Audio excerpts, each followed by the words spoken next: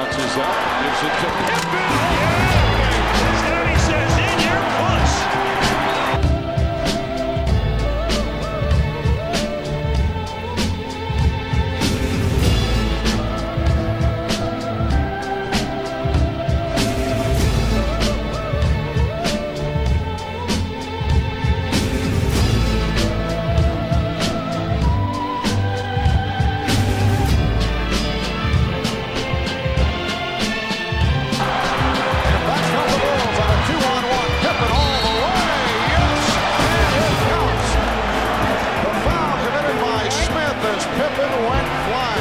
Corbin soared up for this dunk.